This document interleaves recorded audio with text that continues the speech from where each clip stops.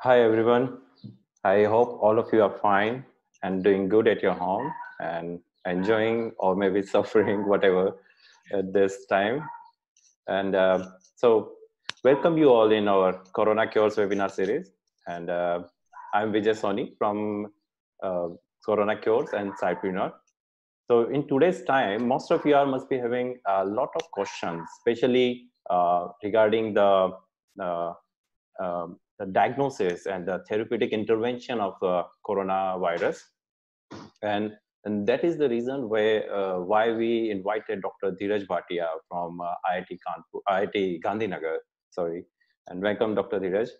Thank you. Um, so he is actually as a, um, is a assistant professor at uh, IIT Gandhinagar, and he is uh, his laboratory is mainly working on DNA nanotechnology driven chemical biology and uh, uh, chemical and biological discoveries. And he's trying to merge the complex programmability of DNA nanotechnology with the structural and functional di diversity of other biomolecules. The uh, other, um, the overarching goal of his team is to translate uh, laboratory findings into new therapeutic strategy. So in today's session, he is going to talk about the role of DNA nanotechnology in COVID-19 therapeutics and diagnosis.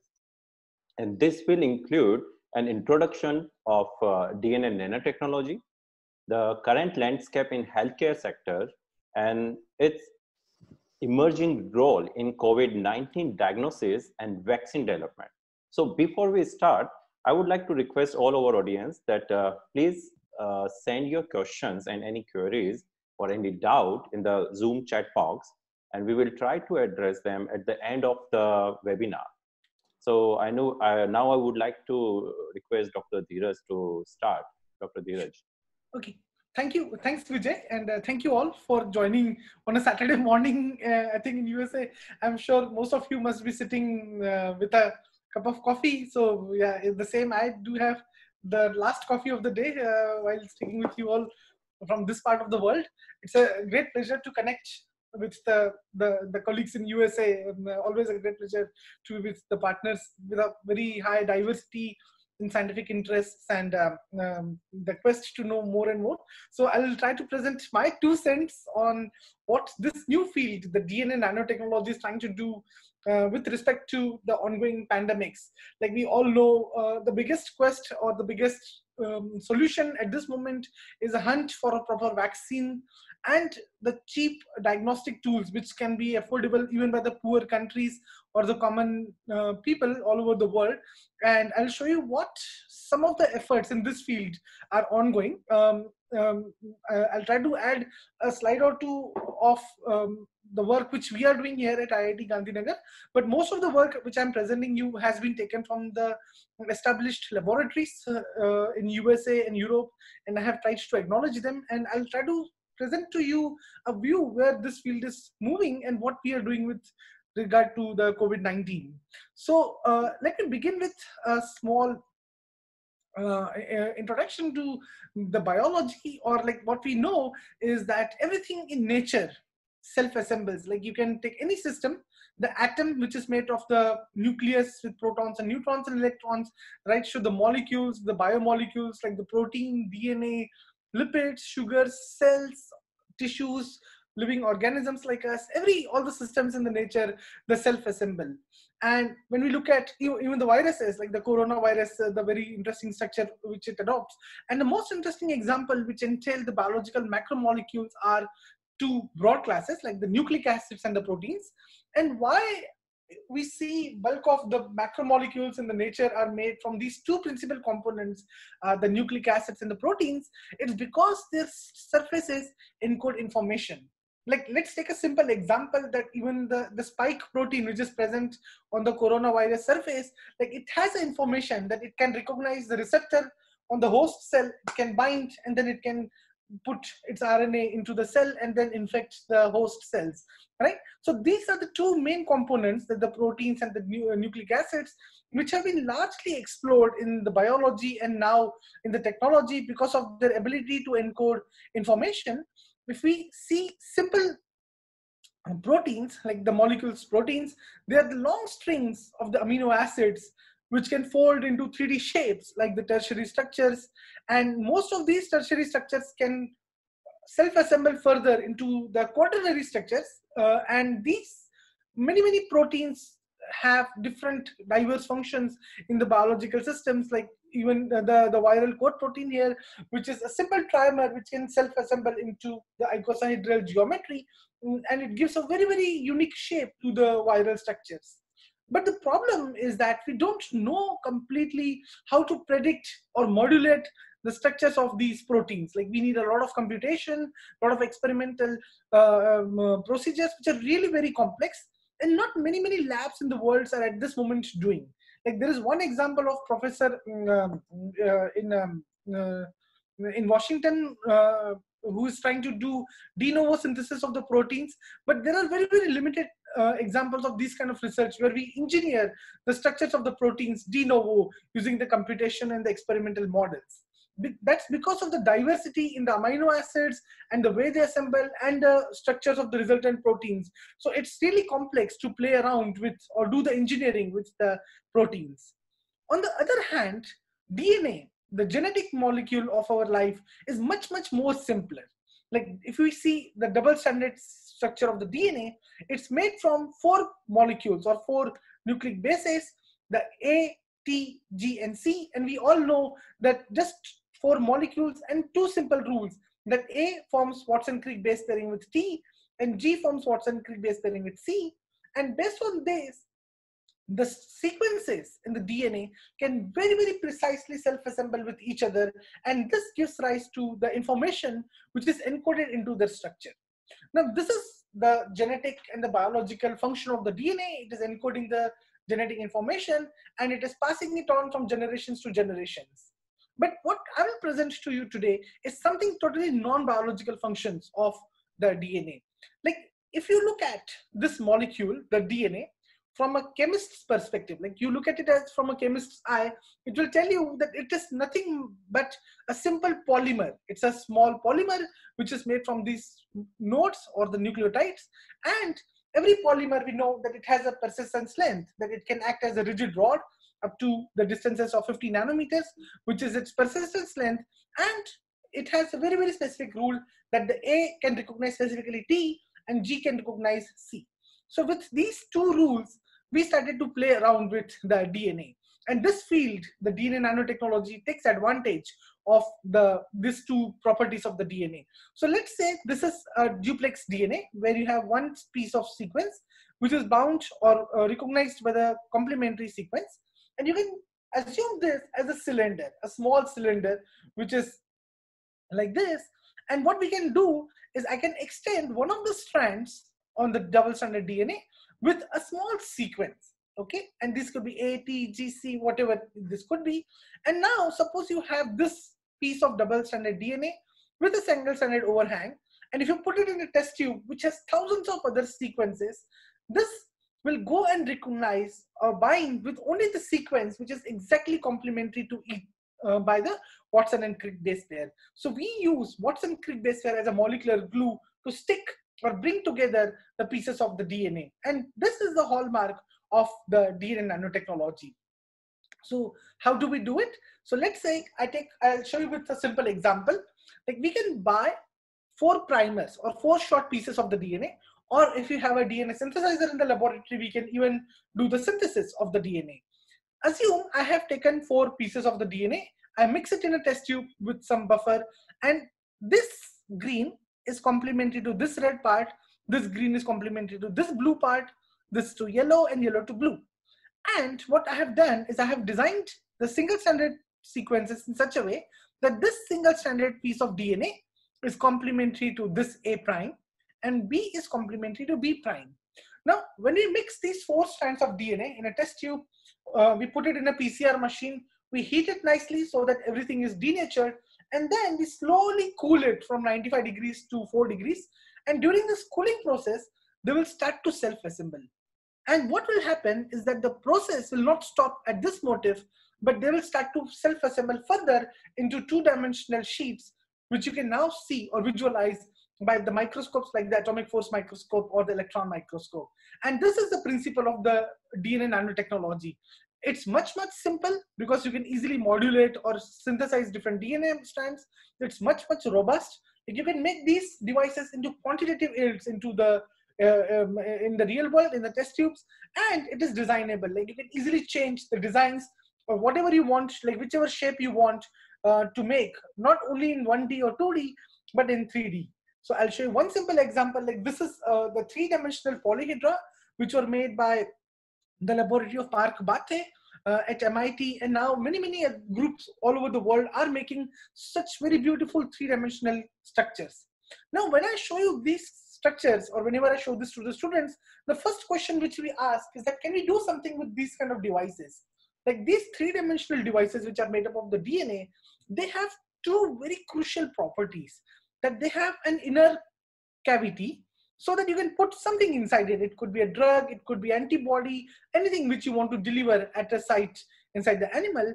And they have a very well-defined three-dimensional surface which you can easily explore to couple anything which you want. Like if you want to put a targeting entity, a small molecule, a peptide, protein, whatever you want, you can couple it on the surface of the DNA and then you put it in the, uh, inject it in the animal and this could be targeted at the site of the drug release, right? So this was one of the key features of the DNA uh, nano devices. And one subfield of the DNA nanotechnology, which has been hugely explored these days, is the DNA origami. Like I'm sure we all must have seen our grandmothers with two needles and a piece of a thread and those grandmothers used to play around with the two needles and the thread and they could make a sweater or a cloth out of it and they could fold the thread into a design a sweater or anything a piece of cloth.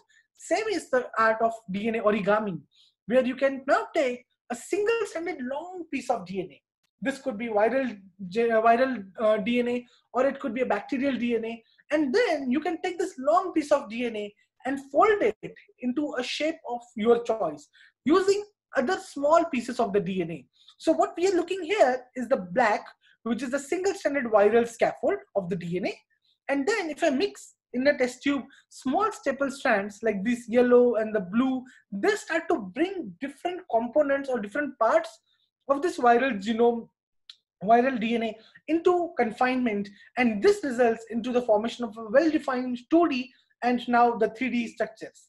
So this field is called as uh, DNA origami and there is a small video which I thought I can share for a better understanding. So I, I, hope you all can see the video. So this is a long viral DNA. The black strand is a DNA and these are small staple strands which are floating in a test tube. And we are doing this in a PCR machine that we heat everything and then we slowly cool it.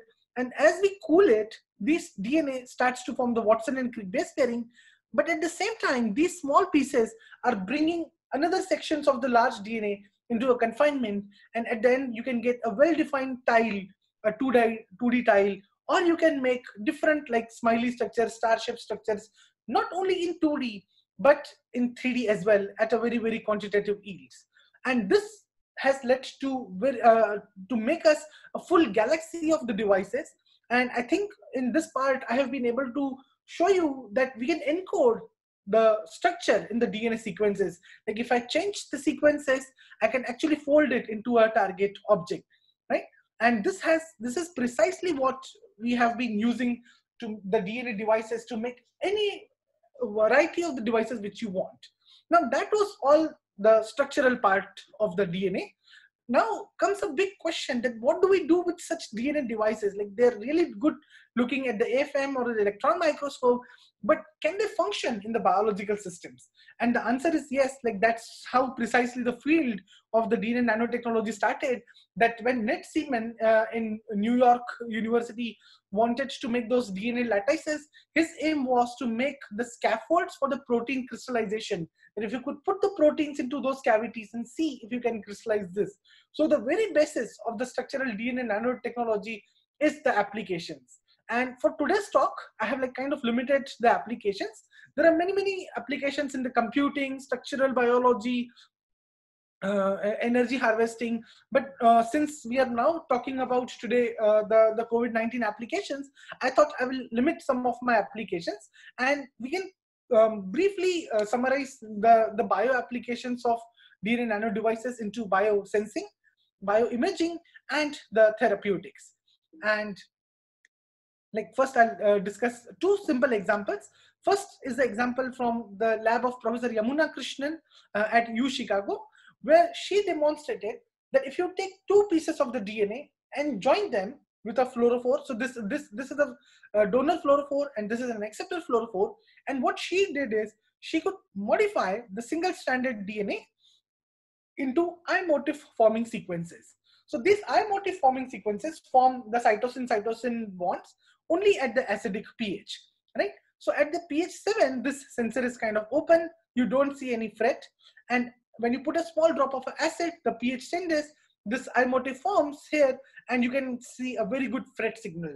And using this fret as a readout, she could, or her lab could develop not only the pH sensors, but now they have made a variety of sensors to map small molecules, free radicals, etc., enzyme activities in the cells and in the animals. And this was the very, very first demonstrations from her lab that if you inject this I-motif or a nano machine inside the C elegans, the living organism, not only is it targeted to particular sites, but it can measure the pH in those cellular compartments wherever it is targeted. And now they have made a full variety of sensors for the chloride ion, uh, NOS, reactive oxygen species, enzyme activities, and etc. and etc. But today, uh, since we are talking about COVID-19, uh, naturally uh, these sensors were existing, and people started to ask, can it now be used? Can these DNA nano devices be used to make sensors for coronavirus detection? So remember, at this moment, uh, the COVID-19 di uh, diagnosis which is happening is mostly based on the RT-PCR uh, technique, where we isolate the viral RNA, we convert it into the DNA, and then we amplify the DNA to see whether the viral RNA is present in the sample or not. And that is like a time-consuming and a bit expensive uh, method. So people started to ask that can we make a simple method or simple colorimetric detection kit by which we can say whether the viral RNA is present in the uh, in the liquid or the blood sample or not. And these are the very very first reports which have started to come out where people have used gold nanoparticles which are functionalized with the single stranded dna now remember one thing like the gold nanoparticles have one particular color. So they have a very very uh, specific uh, absorbance and they uh, emit one particular color and the single stranded DNA, if you functionalize it on the viral DNA structures, they will repel each other. So the single stranded DNA will repel each other and you will get one particular color, let's say blue. And if you add the RNA from the virus, the coronavirus, this RNA will go and bind to this double strand, to this DNA, and that will make bring more and more nanoparticles uh, into close confinement. And this process is called as aggregation. And the moment you get the aggregation the color of the solution changes. And by using this colorimetric technique people are now making very very simple devices by which you can tell that in this soup is the coronavirus present or not.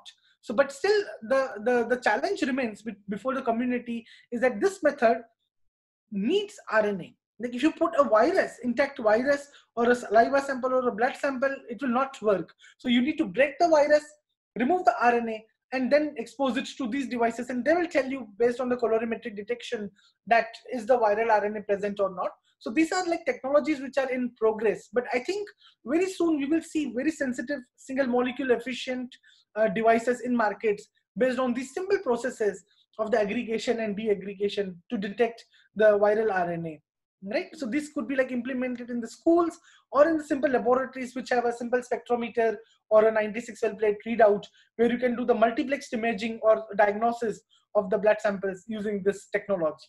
So this was uh, the, the some of the examples about the biosensors. The second part was of the applications which I thought to uh, briefly touch base was this bioimaging applications that I, I told you that those DNA cages or the 3D devices which we can make, you can put something inside those cavities. So you can like, for example, put a nanoparticles inside those cages and see by the electron microscope indeed the encapsulation of those devices in this um, inside those uh, cells. And you can also use them for the delivery applications. So one of the uh, experiment which we did long back was that you can take a simple model drug dextran a dextran molecule and label it with a fluorophore you can put it FITC, the FITC molecule, which is fluorophore. And if you inject the free drug in the animal, so this is a model animal like called the C. elegans, the free drug in the cavity of the animal, you see that it goes and diffuses all over the animal uh, cell, uh, animal um, body without any specific uptake. Now, if you take the same concentration of the drug and encapsulate it inside the DNA cage, and then injected in the animal, what you see is that there is minimum diffusion in the body of the animal, but very, very specific uptake into the target cells. So these are the cells which express the receptors for the negatively charged molecules like the DNA, and then the DNA is getting targeted. And remember that we can program the surface of the DNA. So for example, if I now take the surface of the DNA and instead of unmodified DNA, I put some targeting protein, then these cages will be targeted to the sites where the receptors for this protein are expressed. So we established in last couple of years the methodologies to encapsulate drug molecules inside the DNA cages, functionalize the surface of those protein uh, DNA with different ligands so that you can target them to specific locations in the cells or in the animals and then come up with the strategies by which you can open the cages and release the drug at a targeted sites. So this is one different branch of the DNA uh, nanotechnology, which is uh, uh, having applications in the bioimaging um, um, um, uh, domain. And which brings me to the last part, which is kind of the therapeutics, that we can, if we can image it, can we deliver some functional molecules? And can we use it for the therapeutic applications? So some of the work which was done uh, in last couple of years, mostly by the lab of Bob Langer and Anderson at uh, uh, Koch Institute and MIT, where they were able to take those DNA cages and functionalize it with different drugs. So you can take, you can treat siRNA, a small interfering RNA itself as a drug, which can inhibit the activity of a protein inside the cells. And they could functionalize these DNA cages with a molecule called as folic acid, which can target the folate receptor into those cancer cells. And then they were able to show that not only are these devices able to target the cancer tissues in the animal, but then they also release this siRNA at those sites, and then which leads to the decrease of the tumor size inside those animals. So these were the therapeutic applications about of those DNA devices. And one last example, which has been recently uh, come up um, by the lab of Professor Hendrik Dietz uh, in Germany, which directly uses this DNA cages to encapsulate or trap the viruses, the coronaviruses. And the aim is that if we can trap it, can we like kind of degrade the virus in a nano container environment? Because at this moment, the world is eagerly waiting for the vaccine. And most of the time, the vaccine will be either a small molecule, a drug, or the protein, which is the antibody against the virus, right? Both of which are taking time and optimization.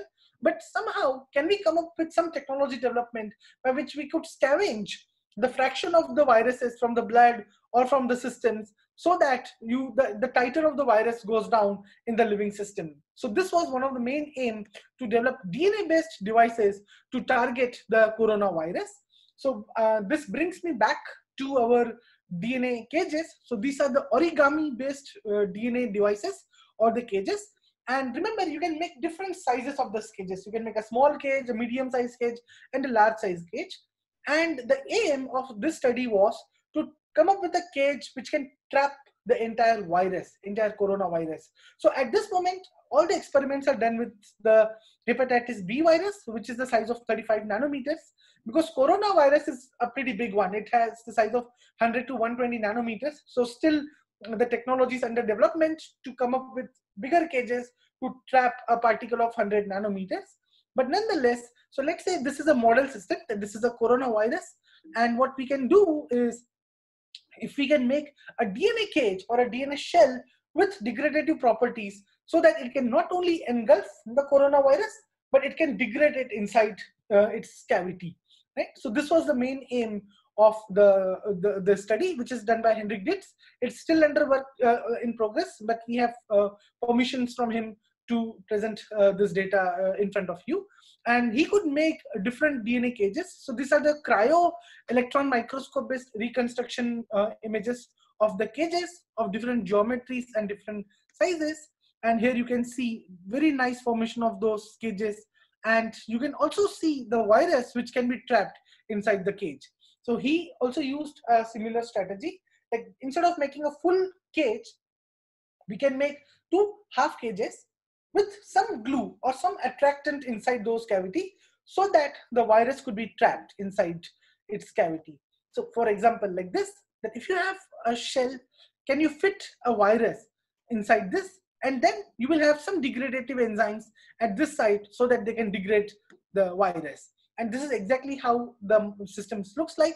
So they have taken this DNA. So this is all this origami based structures and they have functionalized the inner core or the inner layer of the origami with the antibodies which can capture the virus. For example, if you put the ACE2 antibody, it can attract very well the coronavirus from the blood samples and this will go and stick at those sites.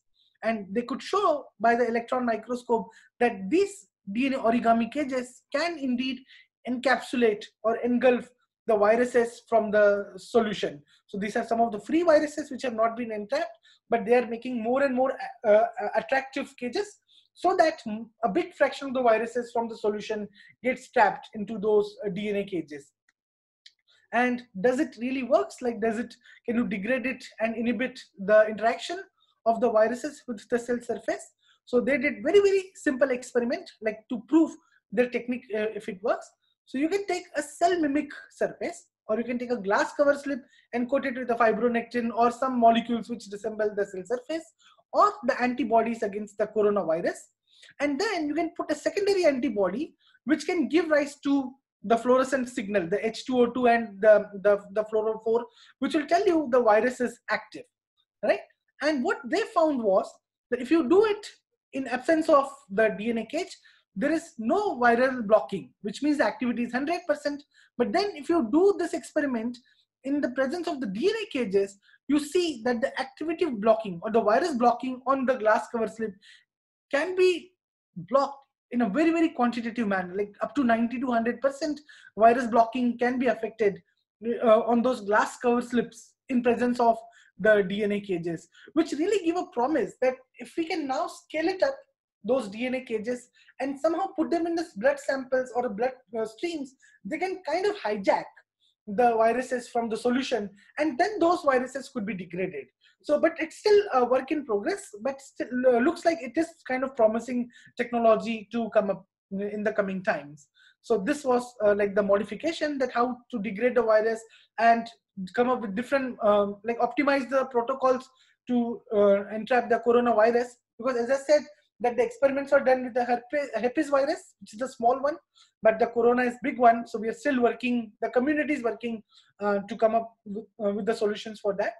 And with this, uh, it brings me to the last uh, slide of my presentation that the DNA nanotechnology field uh, began with this part like when it started in 1980s and the 90s it all came up with the design rules like the how to make different geometry designs assembly rules sequence design stability of those cages. And then a big fraction of the community has been working from last five ten years on the functionalization of those devices with nanomaterials proteins dyes and etc and etc and now what we see is the next layer which is going of the DNA nanotechnology is towards the translational and the clinical applications where we are now working on in vivo targeting, deep tissue bioimaging, sensing and delivery, and interference uh, with the biomaterials. As I said, there are lot many applications of those this technology in energy harvesting, metal ion synthesis, and uh, others. But due to the scope of this talk, I limited it only to the applications related to the corona uh, uh pandemic. So with this, I will stop. I would like to thank you all for your time. And I hope I was able to give you a small glimpse into this new uh, technology, uh, which is rapidly emerging. And we need like scientists from nanotechnology, virus, virology, biologists to come together and work uh, to come up with a like a um, um, like a robust results or tools against the, um, this COVID-19 pandemic. So I will stop here and thank you all. Okay. Thank you, Dr. Dhiraj. It was Thanks. very uh, wonderful and uh, very informative talk, and especially like uh, how Corona assembles and uh, how we can use DNA origami. Yeah. And uh, the most interesting part is like uh, how we can create these uh, nano devices, especially the DNA-based uh, uh, nano devices, and that can be used for the biosensors, bioimaging, and uh, therapeutics. And Right. It's just like fishing out a vect- uh, virus out of your body, Absolutely, and absolutely. Yeah, yeah. so really fantastic. Thank, Thank you. you. Thanks so much. Thank. Yeah. So floor is open, and uh, so people, if you have any questions, just please uh, start. Uh, Priyanka, would you like to go for the question and answer session? Uh, yeah, uh, thank you, Dr. Dhiraj. That was really a wonderful presentation. Thanks, Finger. Yeah. Uh, it Thank was you. really nice. So uh, I have lot many questions, but I'll restrict myself now for now. okay, but I'll ask questions people who have posted. So firstly, as you talked about that gold nanoparticle uh, diagnostic tool, where we have you have the gold nanoparticle, the single DNA on the top of it. So there is Yogita who is asking, is there any size or shape dependence of gold nanoparticle on the colorimetric titration? Yes, there is definitely. So, uh, uh, what we know is that the gold nanoparticle aggregation is very, very uh, geometry depend- dependent, not size as much.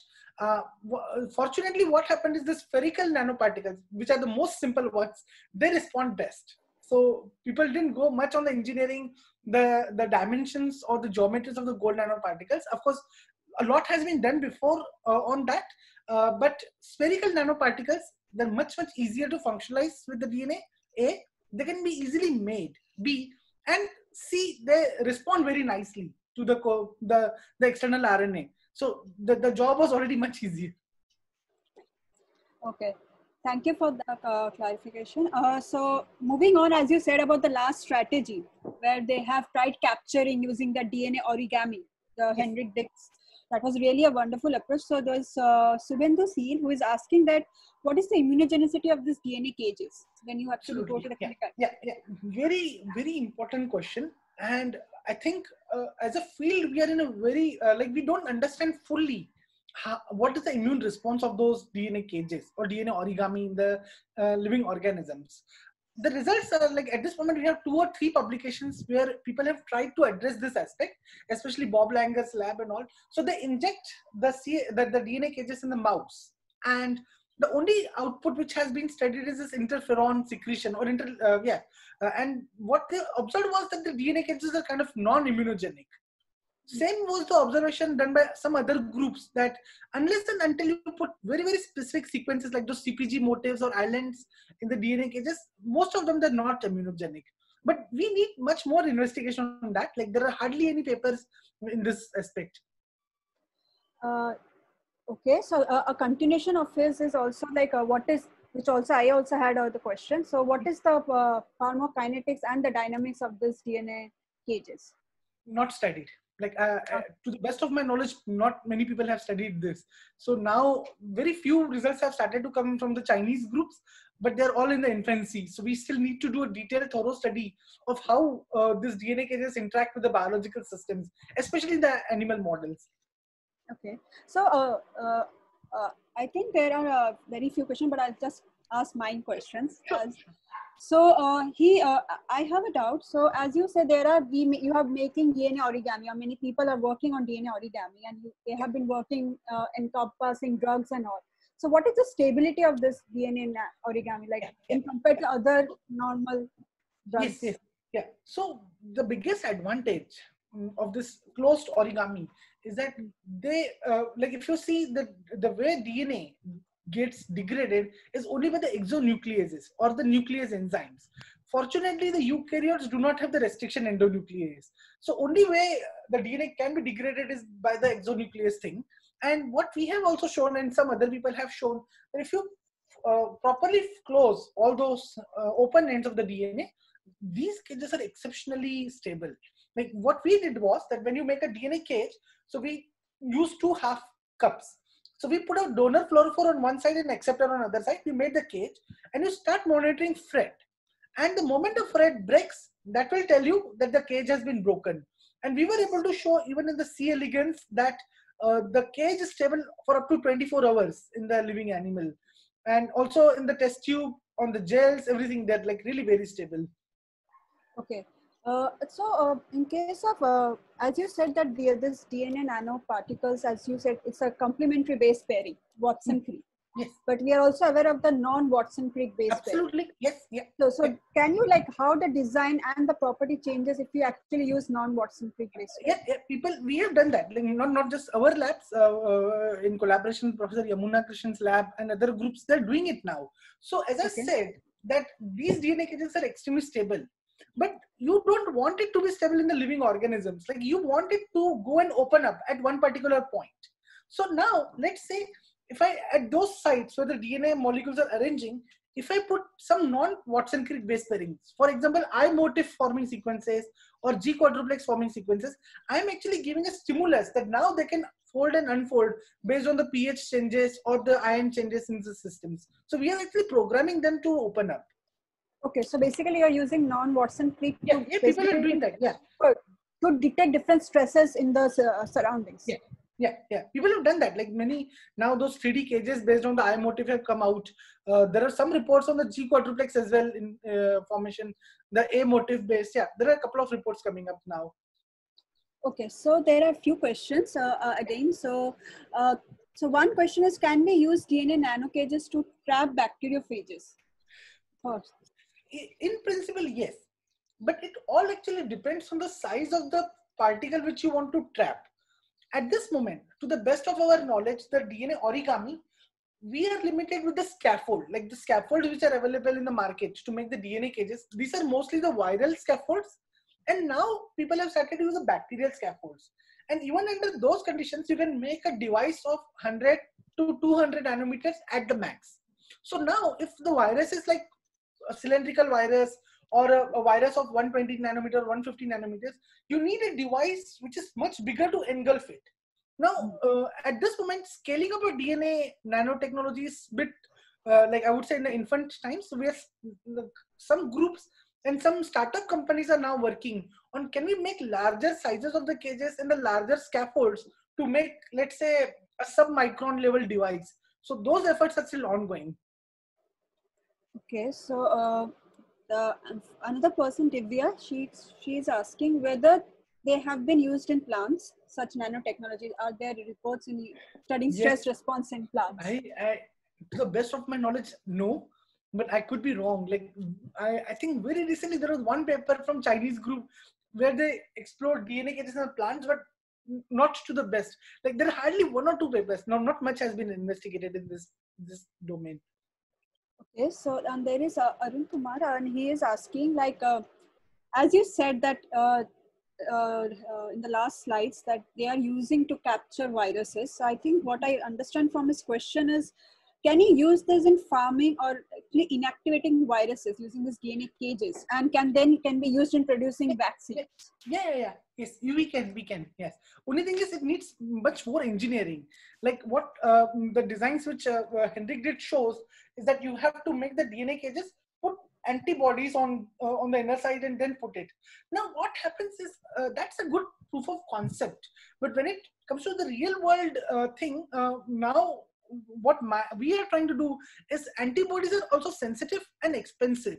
So we are trying to make aptamers, like which are again DNA mimics of the antibodies, and now you have something called as biofunctional aptamers that they will not only bind to the target, but they will also inactivate the activity of the target. And that would be one of the best solutions. So we are working on those. Uh, at this moment, we don't have the results to share. So since the because of the lockdown, everything was closed. But hopefully, very soon we'll be able to show uh, some results in that domain. Thank you so much. Uh, uh, I have again few questions. So, so uh, as I see, these are very big, big structures. So how is the solubility of the structures? Like, it's a DNA. It's a negatively charged molecule. The best like- dissolving molecule in the water or the biological buffers. So it doesn't hamper how structure is going big, or it doesn't No, affect the not at all. As long as long as you maintain the ion concentration, like the phosphate buffer, a simple phosphate buffer. Importantly, it needs magnesium. because what's happening is you're bringing a lot of DNA strands together in the vicinity. So by simple imagination, there will be a lot of repulsion, like the negative charges should repel each other. Uh, but then you have to increase the magnesium ion concentration. So what magnesium does is it forms a small positively charged pockets, and then the DNA strands can be uh, attached together, or they can be bought together in a small volume. Okay. Uh, so, but when we add any drug to it, so does the solubility decrease depend on the property of the drug? Yes, property. Yes, yes, that, that's true. Like, um, if suppose there are some drugs which are like only organic um, solvents uh, soluble, then there is a problem to it. Uh, at this moment, what we have explored is mostly water soluble drugs. Like we have even tried to put some crystals uh, which are at this moment they are water soluble. So we have not tested any organic solvents. But you, you're right. Like if there is a drug which does not like the organic phase, uh, which are the, the aqueous phase, there could be a problem, solubility issues. Okay, so uh, another also, Arun Kumar, he is asking like, uh, what is the, uh, how this origami structures interact with the biological barriers, like the gastrointestinal tract or the intestinal barrier that you have. So can they be used as a? Yeah, yeah, yeah. So not much has been explored. The first thing which happened, like if you inject this DNA cages or origami in the animal, uh, the first site where they go is the kidneys. And what we know is a big fraction of it actually gets cleared through the kidneys. So uh, the only way to bypass it is functionalize the DNA cage with something. Like for example, if you put a folic acid on it, it will go to the cancer cells expressing high amount of folate receptor. And that's the way you enrich it. Same thing is like if you want to target it to the neurons, you have to put some neuropeptides or some antibody which can take it to the synapses or the neurons. And that way you kind of bypass the kidney uh, filtration but that issue still remains that that that issue uh, like there are some groups in us who are working on how to bypass that or how to suppress it but i don't think there is a very good success in that till now. Okay. I think we will uh, finish our question answer session sure. here because we first 10 minutes. Thank you so much. I think i'll tell uh, vijay to take over so he can sure. conclude the session. Okay. Thank you. Priyanka. Thank, thank you, you dhiraj for thanks a lot all questions and answers. Yeah. So yeah, it was, can I just uh, say one thing? Like I tried to answer as much as I could, but if there's some absolutely. doubt remaining, if I could not clarify, maybe people can just drop an email to me and I'll be happy to uh, yeah, yeah. help. I think that we, what we will do, we can actually put up your email here so that anybody who has any questions regarding your presentation sure, can. Sure. That would be yeah. I'll be happy to discuss or help further. Uh, yeah yeah yeah sure sure we will we will send an email to all our subscribers and if they have any question they can directly email you okay okay. Yeah. Okay. so thank you. everyone. I would like to conclude this session for the day and uh, i'm really happy that you have spared like your time and um, joined us today. It was very informative and very uh, uh, so many new things that we came to know.